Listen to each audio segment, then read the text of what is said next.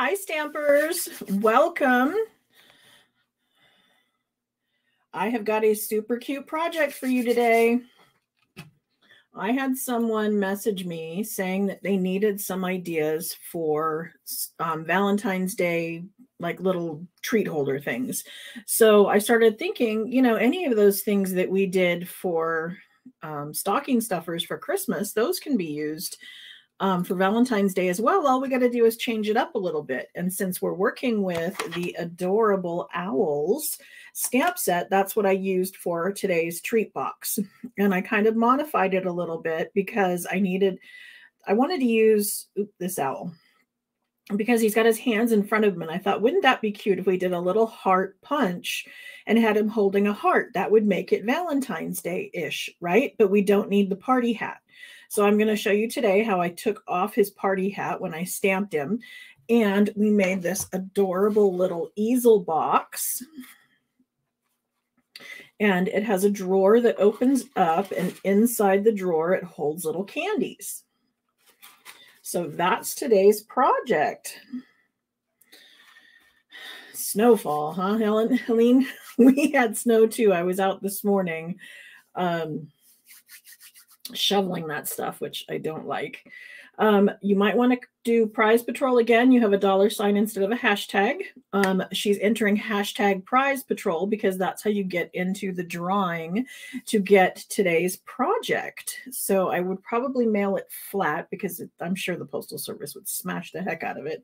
But I can send you all the little pieces like pre-scored and ready to go. But to do that, you want to put in hashtag prize patrol. I have a computer over here collecting names, and everybody goes into a drawing for that. There we go. Thanks. And Melody made it. Welcome. Uh, Trudy, put no space in between prize and patrol. But yes, thank you. Welcome, everyone. Um, today's project, like I said, uses this adorable owls, and that's something in our Sale-a-bration brochure, which is going to be for free in January. Um, for January, February, we're running Sale-a-bration once again, and the new catalog also kicks off. So we'll have this new mini January 5th. And I've already got mine out into the mail, so everybody should have received theirs already. Um, I've been getting emails from people who said they got them. If you did not get them, please let me know. I don't have total faith in the Postal Service. um, so let me know because you want to have this adorable catalog because there are so many good sets in it. And we're going to be playing with them as we step into the new year. So let's move down to the desk.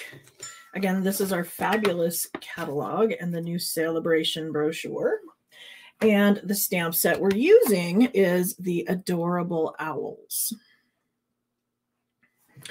So we're going to get started with our little box pieces. Now for the drawer itself, I have a six by six and I have scored it um, an inch and a half from all sides. And so I just stuck it in the scoring tool and I scored it and then spun it, scored it and then spun it it was just easier that way for me to do. So it's scored all the way around. So that's going to be the drawer that pulls out. To wrap around that drawer, I have this piece here. And I just started off by going, okay, well, how about an inch and a half? And then I moved it over on my trimmer and I know that my box is three inches. That's what's going to be when the little drawer goes in. This is three inches. So I needed this to be three inches, right? Well, then I started with, you know, let's go inch and a half. And then I said, okay, well, this is an inch and a half tall on the side, I need this next section to be not just an inch and a half, but a titch over. So I don't know if you can see that but I just went just a little bit past where that um, inch and a half is, and that's where I scored my next line. Okay, then I know that I want the middle part to be three inches. So I put my score on the three inches and scored this. And now once again, I want my side to be just a little over the one and a half. So this is like one and five eighths. Now, this was how my brain worked it out. Now, in the tutorial that I'm going to provide um, in my tutorial store, I'll obviously have all the little measurements with a diagram and all of the score lines. But I wanted you to know how this works. I mean, how we come up with these sizes is we kind of figure out that we know it's going to be three inches wide. That was easy. Um, and then we want a little wiggle room for the drawer to go in and out. So that's where the eighth of an inch comes in is it allows that. So those are going to be those two pieces. And then on the top here, I wanted an easel. So I need something that's going to open like this, right? And I need a section to glue down. And then I need the section to go up. So I have a six by three. So the three inch section will glue to the, the box. This other three inch section I scored at one and a half. That's going to make my easel. And then I needed one more three by three to be the part that goes up. Okay, you following me?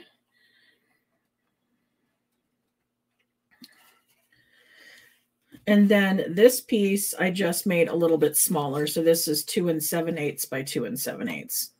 And if that bugs you, you can do two and a two and three quarter by two and three quarter, and you just have a wider border. Not a big deal. But if I wanted to make this bigger, I mean, if I wanted a four by four drawer or a, you, you know, this is how the way I'm explaining it, it allows you to change the size of the box. I guess is what I'm trying to get at. But my tutorial will have exact measurements and I'm I told you how I figured it out. So you should be able to make the one I did or make a new one that has different sizes.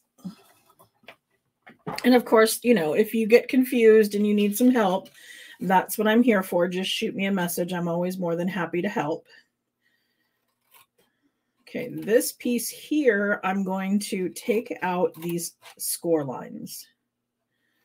So I'm cutting twice, just either side of the indented material. I guess is that what I want to say? I'm just removing the score line. So then I'll cut those little pieces off.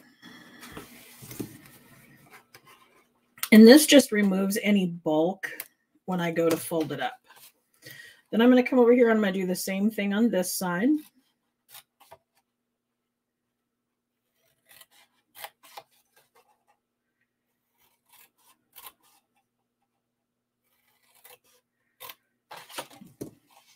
And I'm just removing those score lines and then just snipping them off.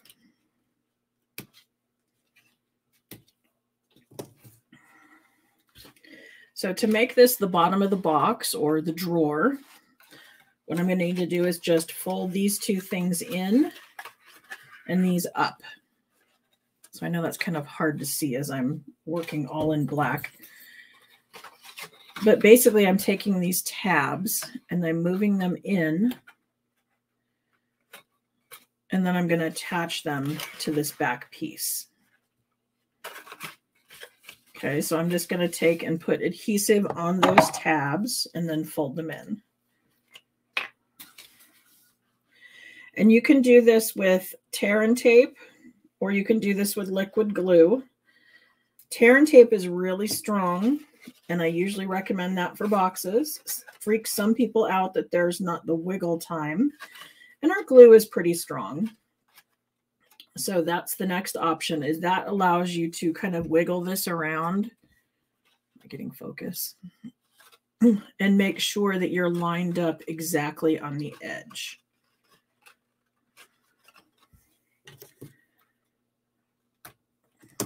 Okay, so I've got my seam right in here. And that's just ensuring that my box is squared up.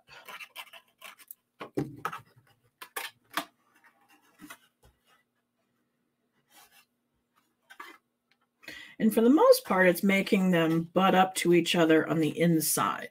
So the two tabs are touching each other right there. And then I'm noticing there's a little bit that I didn't quite snip off of my score line.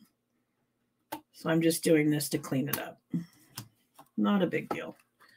But now we have the bottom of our box or our little drawer. Okay, now I want to decorate it. I want to be able to put this around it. Now, again, I've talked about how when we apply designer series paper, when we make those bends, it kind of tugs a little at the designer series paper. So my, the score lines are not ex as exact. So I tend to go around and finger press. That's what I'm calling this when I kind of fold it over. And then I'm coming back in and I'm folding it this way and making this a firmer crease. And when I do that, it allows me to make sure I'm lined up here. So again, that's going to be squared. I'm going to follow up to this one, do the same thing. Finger press, pinch, pull it back.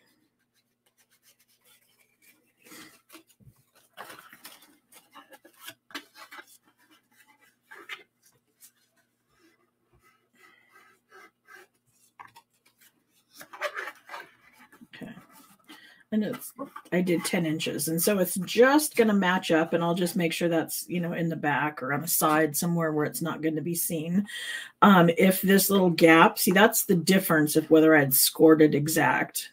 Um, it needed that little, I don't know, 16th of an inch. So you could cut this instead of 10 inches by, was it one and three eighths?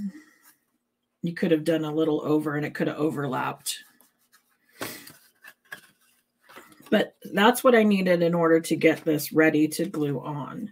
Then I can come in with my adhesive and I could again do the liquid or I could do tear and tape or even seal. But I needed to make sure I had done that part first as all my finger pinching.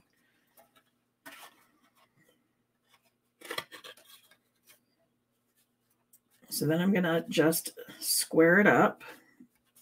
Make sure I'm wrapping around.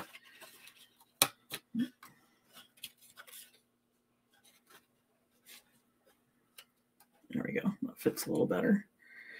Okay.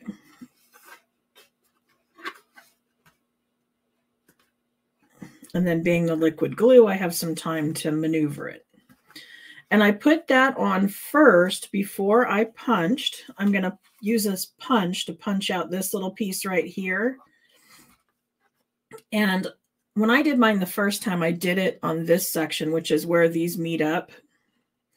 And so that made it thicker. Instead of going through one layer of cardstock and one layer of DSP, I was going through two. So I chose to this time make my finger pull on just the one and it should punch out easier. Yeah, much easier. Okay, and then that's when my candy would fit into this. And it would hold four of those. Now for this to wrap around, I'm going to need it to overlap right there. And so Again, I could use liquid or we can use seal or tear and tape.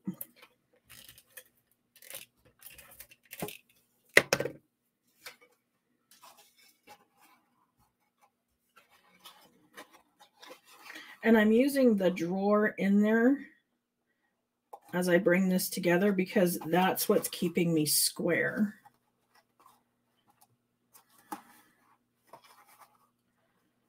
Okay, and I did an eighth of an inch clearance. You could do, I have some friends that do a 16th of an inch. I find my customers get freaked out by that. So this has a little more room, but it easily moves in and out. Okay, now I'm going to take and do the finger pressing idea with this. This is my piece to wrap around. So again, it's two and seven eighths. So I've got my skinny little border. Um, I want it to do its um, gap on the bottom. So I'm going to start here And then I'm going to finger press. Do this. And then finger press.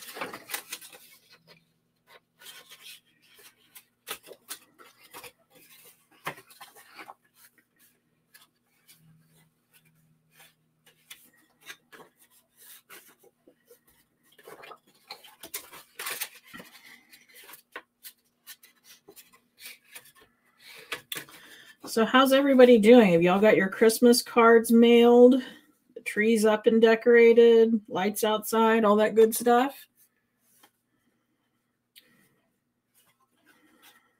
We finally got all of our ornaments up on the tree. So I took some pictures of some of my favorite of the Hallmark ornaments that we have still. The kids took all of theirs, or the kids were given theirs. Um, so I just have the ones from my husband and I, but it's still fun to pull them out and have all the memories that go with each ornament from each year. Okay, so I know I want to cut right about there.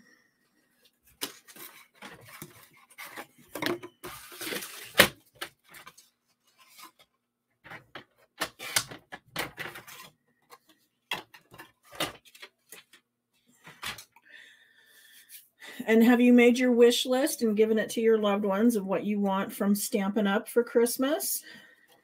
You know, you can go into your personal um, Stampin' Up account, you sign in, you then find the um, the things that you would like to get for Christmas to put on your wish list, and there's a little heart next to that item. If you click the heart, you can you can add it to a wish list and if you don't have one already created it'll ask you what do you want the name of your list to be? So you call it you know christmas wish list. And then when you've hearted all the things that you want then you just um, you can share that list. There's a link to an email um, where you can send it to people and they can buy direct. And now would be a good time to do that because today they're offering free shipping um, on an order $75 or more if it's placed today only, that shipping is going to be free, which is super exciting because they have that clearance rack update and they have the last chance items from our holiday catalog all on sale. So you can combine the sale prices with the free shipping and get an awesome deal.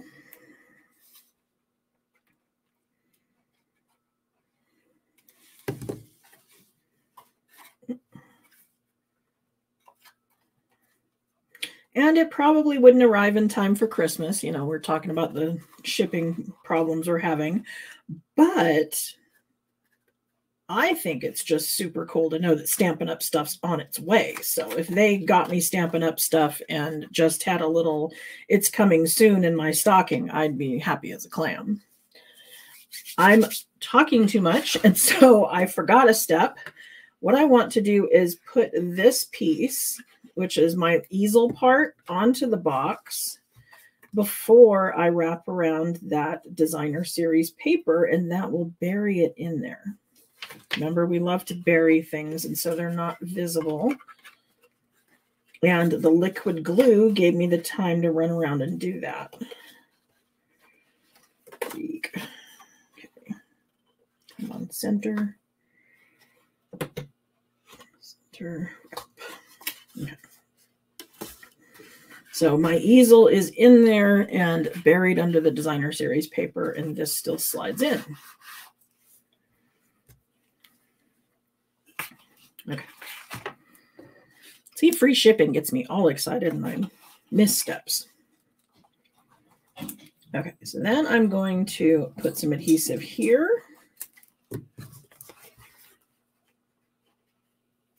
And then I'm just squaring this up on the bottom. Again, because this is my easel, I only want adhesive on the bottom half, not the top, so it still moves.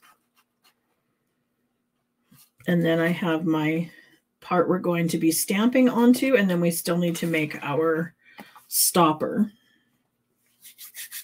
So we're ready to start stamping. Ooh, a February birthday. Me too.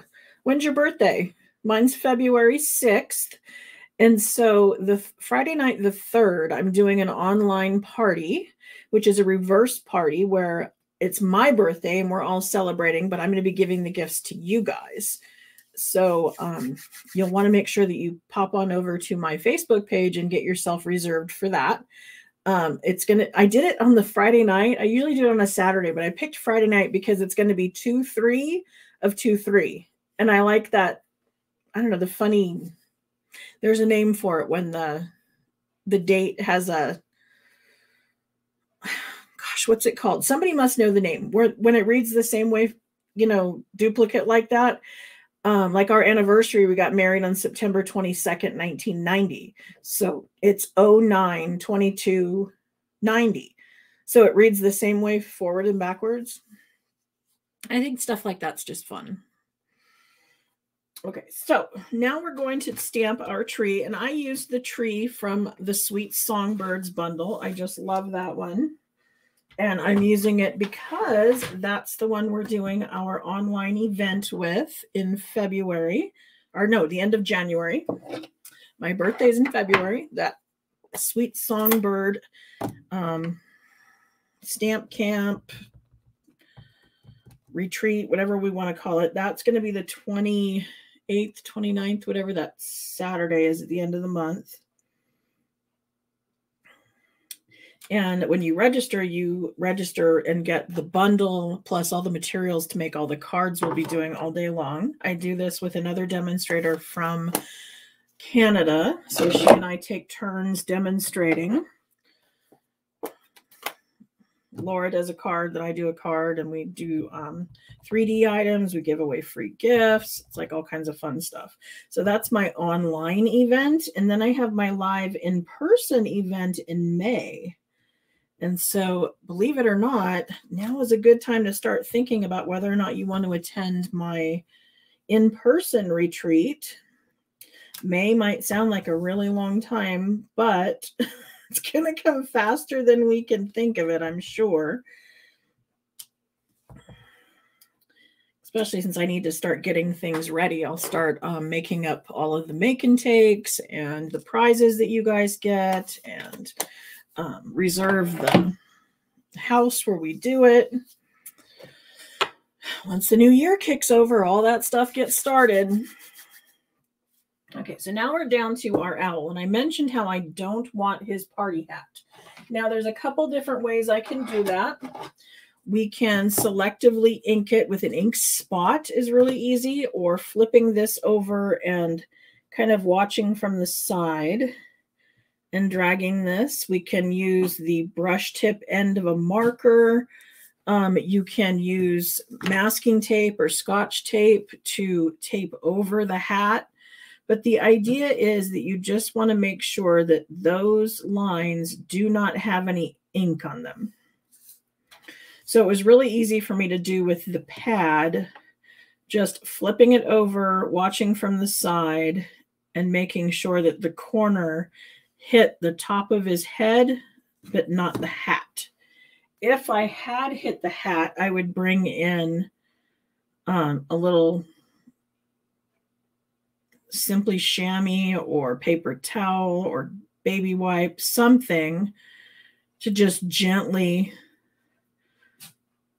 kind of drag along the edge. Am I in camera? Sorry. You would kind of just take and remove that. but that will allow me to go ahead and stamp him without the party hat.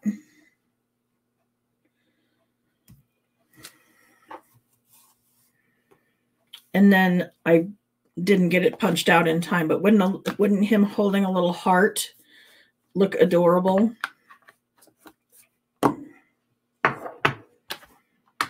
Okay, so now we're ready to color. And just really quickly, I'm going to bring in a few Stampin' Blends. Um, I've got some dark Daffodil Delight. We'll do his beak. I probably ought to go online and look up and see what owls really look like. I'm kind of thinking Winnie the Pooh and I'm coloring him like the owl on there, and that may or may not be correct. My daughter was a huge Winnie the Pooh fan when she was little. Now that she's almost 30, she's switched over and now she's a fan of The Lion King, you know, so grown up.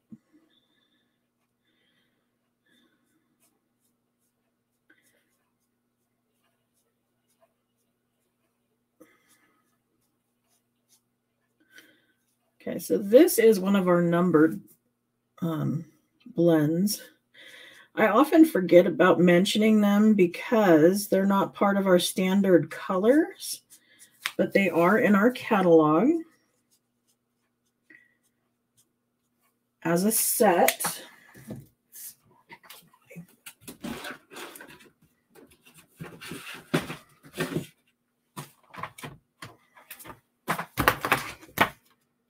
They were brought out when we had a diversity set when they had lots of hands and they were trying to get all the various um, skin colors. But i find myself using them for things i mean i use it for that but also for additional things. 126 128 because they're just good browns and ivories and let's see. There we go but you'll find them down here. Sometimes when they have these pages where there's multiple items, they don't things don't really pop out at us. And so it's on page 128 down here at the bottom, the natural tones. And so this is one of the deep. Um, back when they first released them, they had numbers, but now they've paired them up. And there's these ones down here. So just to let you know that they're not listed with our other ones, they're separate. So I think sometimes when things aren't where we expect them to be, they get lost because the catalog is so big. But that's where you would find them.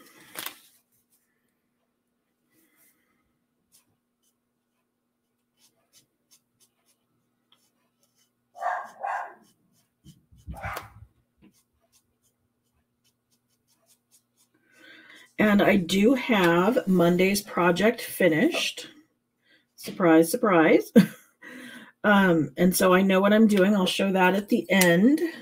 So hang out. You'll want to see what I'm making because it's really fun. We're going to be using the whiskey business and doing some techniques. So even if you're thinking, oh goodness, I don't do the whiskey set, that's not, you know, I don't need masculine cards, whatever, you're going to want to stick around because we're using some techniques that you can use with anything. So I try to make that apparent when I'm picking projects. I try to pick things that even if that particular thing that you're you know, that I'm showcasing, say you don't like the owls or you don't celebrate Valentine's Day, you can still use the fold or the box or, you know, the idea for other things.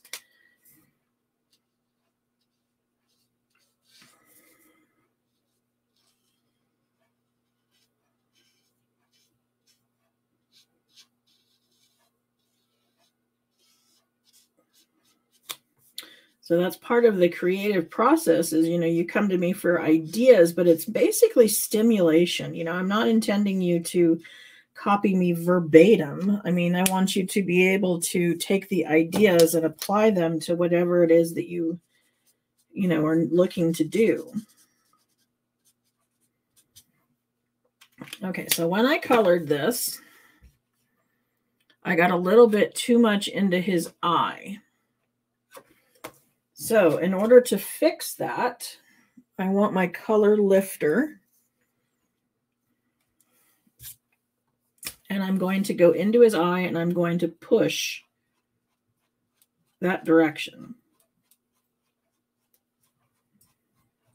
So I'm not going over the, the line, but I just stayed in here and I pushed and look, now it's gone. So if you use Stampin' Blends and you don't have the color lifter because you weren't really sure you needed it, that's just one of the many things you can do with it. Okay, now we're ready for a little bit of ink blending. I'm going to bring in my new teeny tiny blending brush.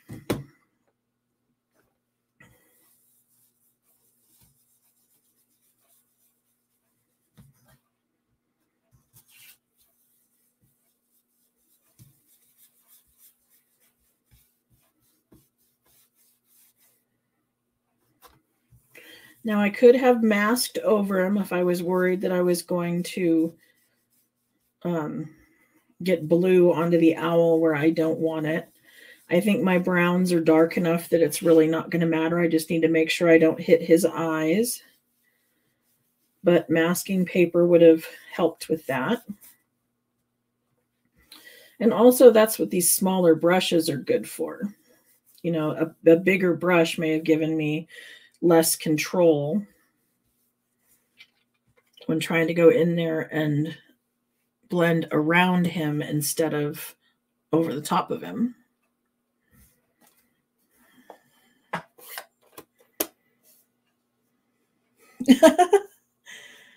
yeah, little kids would probably love this to hold little Barbie parts, huh? For clothes. Okay, so this guy's ready to go onto here.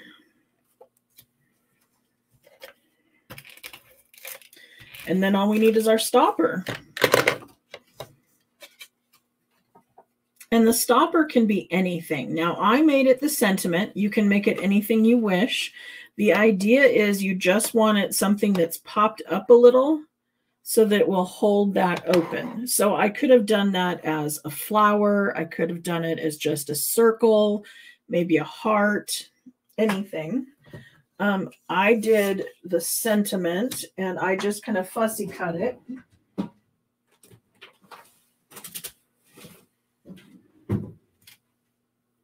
So bring in my real red because that's the color in this designer series paper. This designer series paper is new. It's from the new catalog. And this punch that's going to be coming out punches out this whole thing. Um, I always love to point out when it does that. The punch will cut out both hearts and both leaves. So there's a new punch that will do that. And then there's just some really pretty flowers and some hearts. And again, I always point out how I love that Stampin' Up! will make one side pretty specific. You know, like our hearts are on one side, but the back may not be as, you know, Valentine's Day-ish. I love the bicycle. I thought that was great. Got more hearts. So just really pretty paper.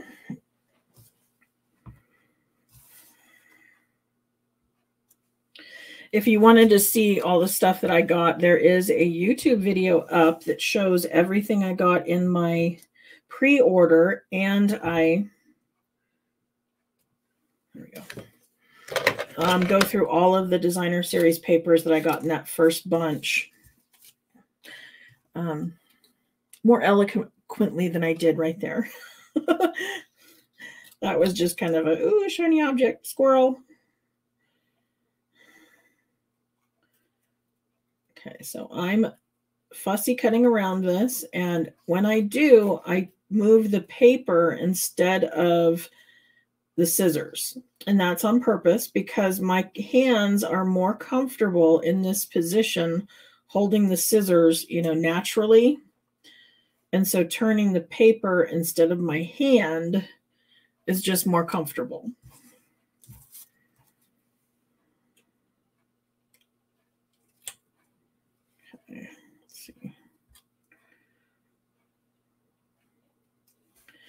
So once I fussy cut that one, then I just glued it to red.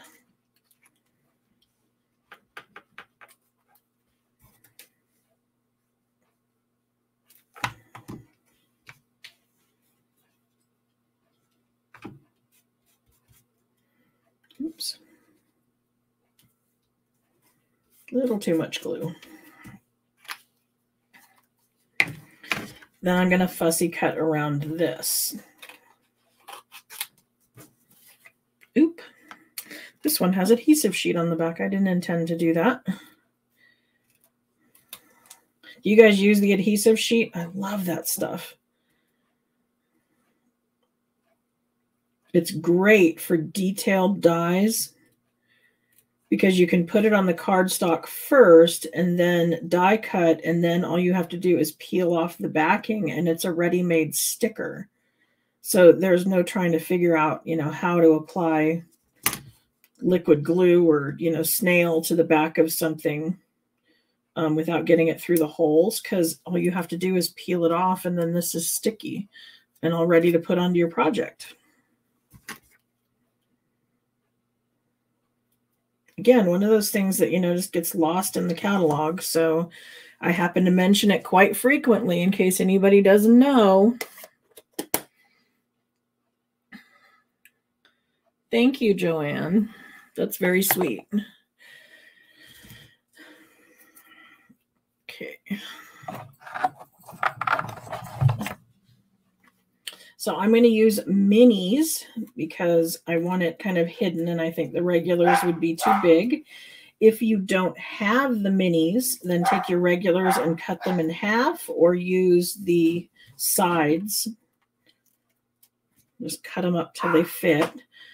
But I'm raising it up so that this will catch.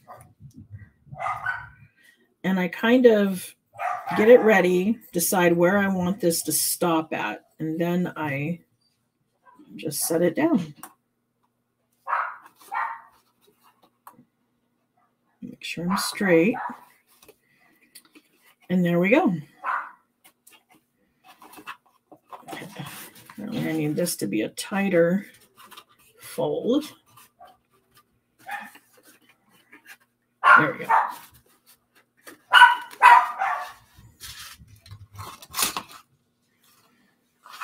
And there we go. There's actually two. I have two poodles. I have um, Sophie. Come here, Sophie. Come here. Come here. This is Sophie. This is my good girl. She's a miniature poodle. And then I have Pixie, who's a toy poodle. Where, Pixie? Here. This one's Pixie. And I love her coat because look, her the back of her fur is a heart. I don't know if you can quite make it out, but she's really cute. Hey, don't fight.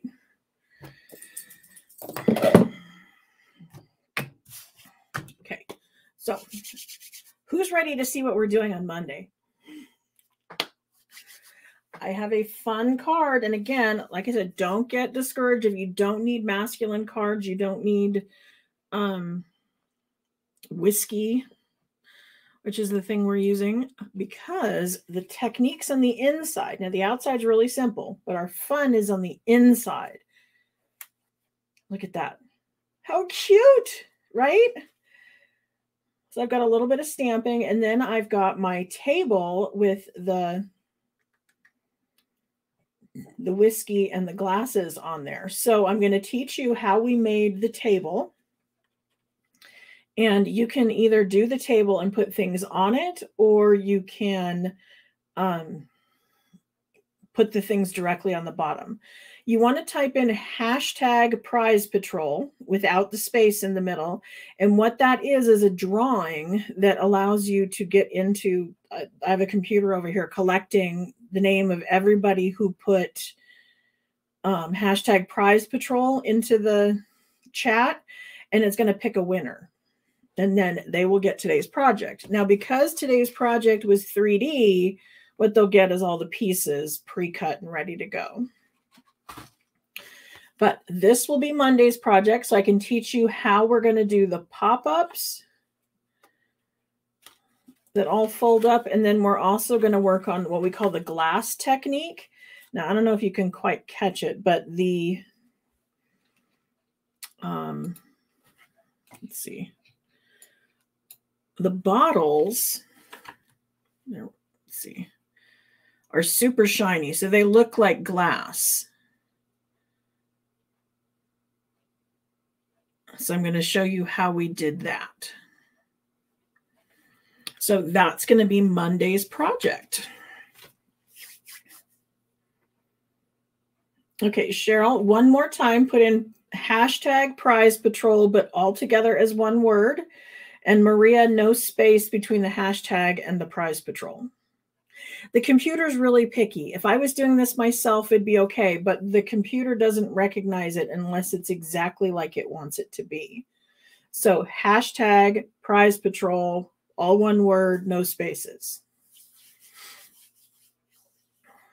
So I'm going to give a couple minutes so Cheryl and Maria can pop that in there, and then we'll be ready to spin.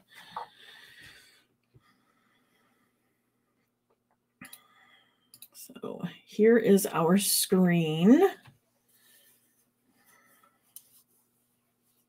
Yeah, Monday's card is fun. I'm excited about that one. There's several things that you can make pop up on the inside that are super fun. And sometimes you can even make a little like hole on the outside that'll you can see what's going to pop up from outside inside the card. I'm not that's not making sense.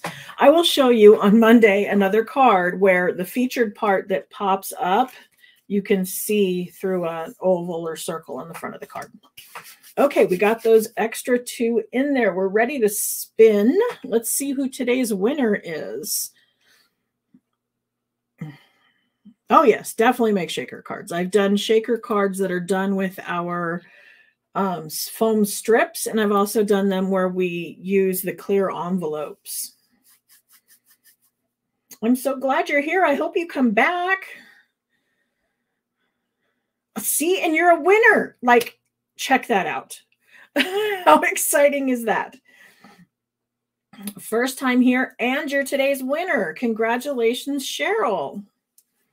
So make sure you are subscribed to my YouTube channel and that you have the alerts turned on. I'm going to, after this is over, I'm going to schedule Mondays live. So you'll be able to go into my videos on my YouTube channel and click the little thing that says remind me, and it will tell you when I go live.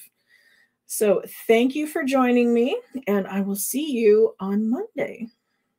And in the meantime, pop on over to the YouTube channel and um, check out those other cards. You can search um, Shaker card or Queen B Creations Shaker card from within my channel, and there will be several. If you don't find them right away, pop me an email or hit me up on Facebook, and I can give you a link. So thanks for joining me, and I'll see you back here on Monday. Thanks a lot. Bye.